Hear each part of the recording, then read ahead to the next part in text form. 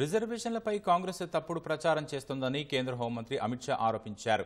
Fake వీడియోలను ముఖ్యమంత్రి Revanth Reddy circulate చేశారని తప్పుపట్టిన అమిత్ షా అలా చేస్తే ఢిల్లీ పోలీసులు రాకుండా ఎలా ఉంటారని ప్రశ్నించారు. రిజర్వేషన్లను రద్దు చేసే ప్రసక్తి లేదని పునరుద్ఘాటించిన అమిత్ షా ముస్లింల రిజర్వేషన్లు రద్దు చేసి బీసీ ఎస్సీ ఎస్టీలకు పెంచుతామన్నారు. నిజామాబాద్లో పసుపు బోర్డు ప్రధాన కార్యాలయం ఏర్పాటు చేస్తామని అమిత్ షా హామీ ఇచ్చారు.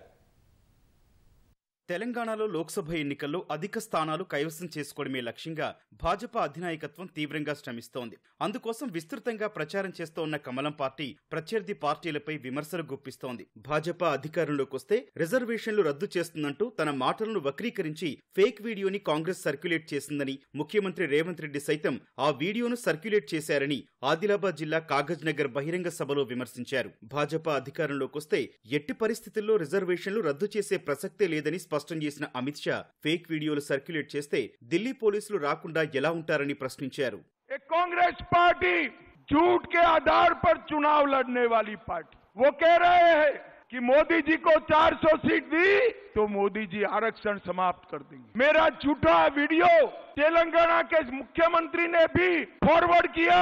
एडिटेड वीडियो करा और कहना चाहते हैं, हम आरक्षण समाप्त कर देंगे। तेलंगाना वालों, मैं आज एक मोदी गारंटी देकर जाता हूँ, जब तक देश की संसद में एक भी भाजपा का सांसद है आदिवासी दलित और ओबीसी का आरक्षण हम समाप्त नहीं होने देंगे नहीं होने ये मुस्लिम आरक्षण कांग्रेस पार्टी कर कर गई है वो संवैधानिक नहीं है ఛత్తీస్గఢ్లోని కొద్ది ప్రాంతం మినహా దేశవ్యాప్తంగా నక్సలిజంను తుదముట్టించామని అమిత్ షా పేర్కొన్నారు ముస్లింల ఓట్ల కోసం ఉగ్రవాదులపై మన్మోహన్ సర్కారు కఠిన చర్యలు తీసుకోలేదని ఆరోపించారు పసుపు బోర్డు ప్రధాన కార్యాలయాన్ని నిజామాబాద్లో ఏర్పాటు చేస్తామని తెలిపిన అమిత్ షా మూతపడిన చక్కెర పరిశ్రమలను తెరిపిస్తామని హామీ ఇచ్చారు सालों से टर्मरिक बोर्ड बनाने की मांग थी और ये अरविंद धर्मपुरी मोदी जी के इतने पीछे पड़ गए कि मोदी जी ने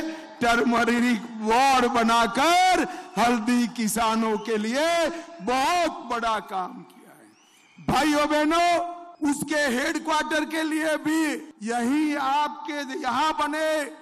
इसके लिए भी अरविंद पीछे पड़े हैं। दूसरी बार एमपी बना दो हेडक्वार्टर भी आपके यहाँ निश्चित रूप से आ जाए।